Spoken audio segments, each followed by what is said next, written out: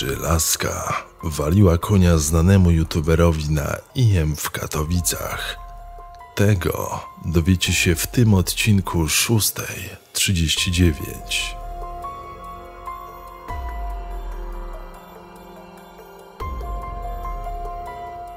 Witajcie w kolejnym odcinku 6.39.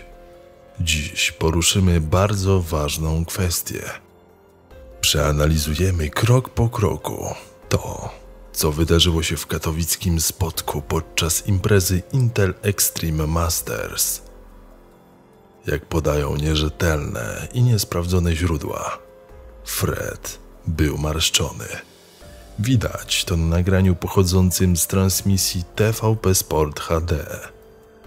Jednak sami zainteresowani nie przyznają się do popełnienia tego czynu, tłumacząc, że na nagraniu widać zupełnie coś innego. Co, co pominął pan operator? Słuchajcie, co pominął pan operator? O właśnie! Pominął to, że było ruszane nogą, słuchajcie. O nie, cała, cała teoria poszła się jebać. Najgorzej, no. W związku z tym zapytaliśmy doktora rehabilitowanego w dziedzinie koniobicia, Jana Grzybala, o to, co myśli na ten temat. Serio? Po nodze się robi tak? Z taką prędkością się po nodze robi? No kurwa, no Żyżej, proszę cię, no ja pierdolę, lubię cię Żyżej, no ale nie ściemniaj.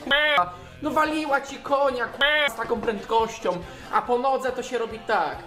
Tak się robi po nodze, tak, o, takie coś się robi po nodze. Od komentarza nie stronił również inny polski streamer.